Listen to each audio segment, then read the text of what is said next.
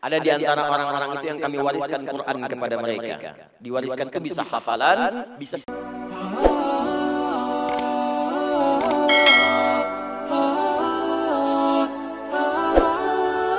Orang yang belajar Al-Quran dengan benar pasti akan berubah jadi orang baik. Allah turunkan Quran surah ke-35 Fatir di ayat yang ke-32 bahkan sampai ke-33-nya.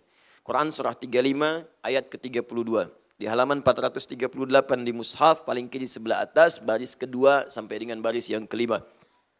ثم أورثنا الكتاب الذين اصطفينا من عبادنا فمنهم ظالم لنفسه ومنهم مقتصد ومنهم سابق بالخيرات بإذن الله ya ada di antara orang-orang itu yang kami wariskan Quran kepada mereka diwariskan itu bisa hafalan, bisa senang baca. Jadi ada orang yang rajin baca Quran. Menghafal belum 30 juz.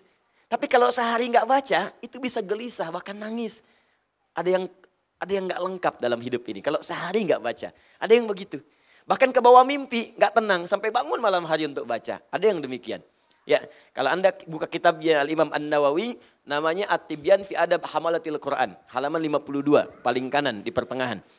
Itu di situ terbitan Darun Nafais. Ada kisah orang yang rajin baca Al-Baqarah. Dia hafal Quran enggak? Tapi senang dengan surat itu. Senang, senang. Saking senangnya tiap malam sebelum tidur baca. Pernah satu kali ketiduran saking capeknya nggak sempat baca. Saat tertidur itulah tiba-tiba bermimpi kaget bangun. Tangannya terkena kawannya. Begitu terkena kawannya ikut bangun. Dia berkata, Mabika kamu kenapa tiba-tiba begitu? Wallahi ra'aitul fin manam laqad natahatnil baqarah. Laqad natahatnil baqarah. Saya tadi mimpi dalam tidur diseruduk al-baqarah.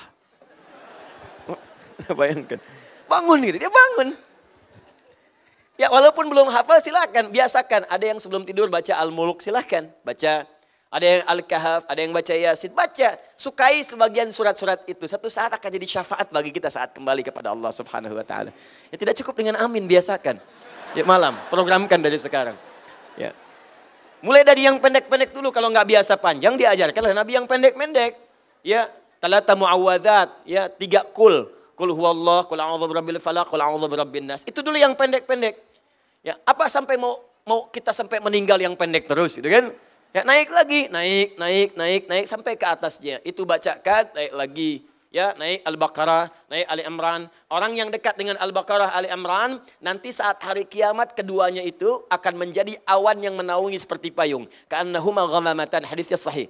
Jadi nanti saat dihisab, ini akan mengikuti kalau orang kepanasan dia teduh saja. Itu ahli Al-Baqarah, Al-Baqarah dan Ali Imran.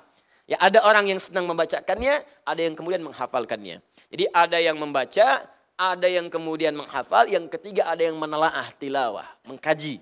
Rajin mengkaji. Ya, baca tidak seperti yang pertama, dia baca juga. Menghafal belum sempurna, tapi senang dia mengkaji maknanya. Hari ini aku pengen belajar Al-Fatihah. Besok aku pengen belajar An-Nisa. Aku akan kumpulkan ayat-ayat tentang aku, perempuan, ibu rumah tangga. Keluarin ayat perempuan semua. Aku ingin belajar tentang ayat-ayat bisnis. Keluarkan ayat bisnis semua. Digali, diamalkan. Itu kata Allah langsung orang yang seperti itu. Itu Al-Quran akan membimbing dirinya untuk menjadi pribadi yang lebih baik dalam hidupnya.